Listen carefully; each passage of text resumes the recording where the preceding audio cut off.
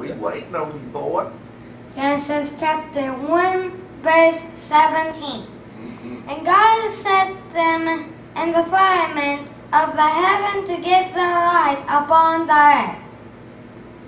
All right. Wow. Wow wow.